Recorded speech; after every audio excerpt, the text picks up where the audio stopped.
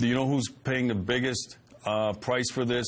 Not only law-abiding people, but law-abiding black, brown, Hispanic, uh, seniors, those type of people who are disproportionately victimized by violent crime. So actually, in her, with her getting in bed with this uh, Black Lives Movement, this, this dangerous, hateful ideology, she is taking it out on good, law-abiding black people that live in the American ghetto. Well, They're the ones who are victimized disproportionately by crime and violence. Yeah,